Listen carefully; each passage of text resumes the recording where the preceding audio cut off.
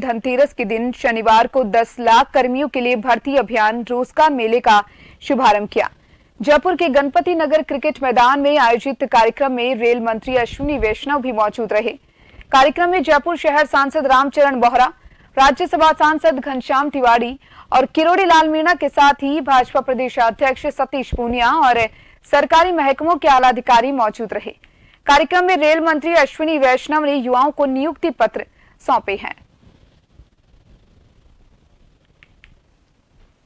वंदे भारत का construction manufacturing regularly चल रहा है।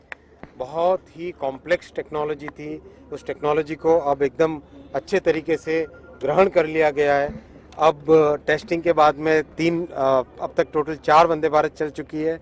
बहुत जल्दी अब हर महीने दो दो तीन तीन गाड़ियाँ फैक्ट्री से निकलेगी और बहुत जल्दी जयपुर में भी आएगी।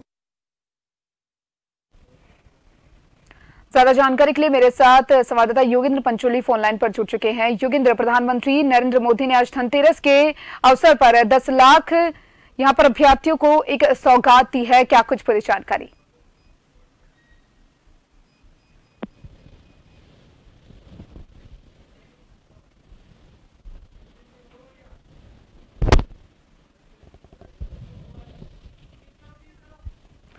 रोज़गार मेले का शुभारंभ। आपको बता दें कि प्रधानमंत्री नरेंद्र मोदी ने दिवाली से पहले धनतेरस के दिन शनिवार जयपुर के गणपति नगर क्रिकेट मैदान में आयोजित रेल मंत्री अश्विनी वैष्णव भी मौजूद रहे।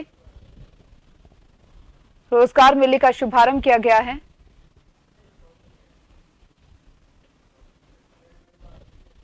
प्रधानमंत्री नरेंद्र मोदी ने दिवाली से पहले